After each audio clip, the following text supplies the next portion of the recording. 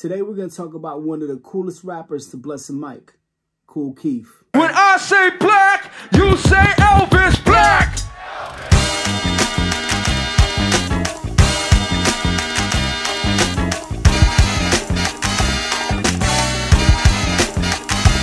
On the turntable today, we have the Kool Keith X Concrete Jungle limited edition statue. Standing 12 and a half inches tall, this Kool Keith Concrete Jungle collab was released in January of 2009.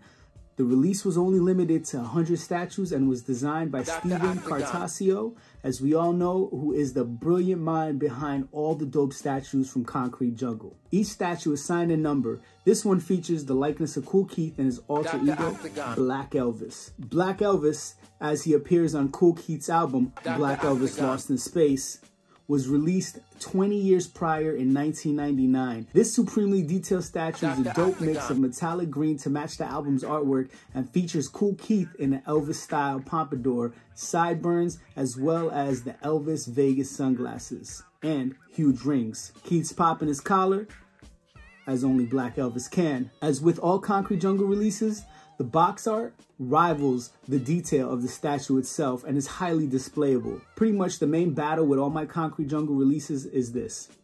Where do I put the statue and where do I put the box? Because they're both too dope. Kool Keith began his career with the group Ultramagnetic MCs in the Bronx from 1984 to 1993. Two years after leaving the group, he was emerged as one of the craziest yet illest MCs the game has ever seen, he went on to produce and play instruments on most of his projects on both independent and major labels. Kool Keith is a man of a million aliases. One time, I opened for Kool Keith and he handed me a porno that he produced.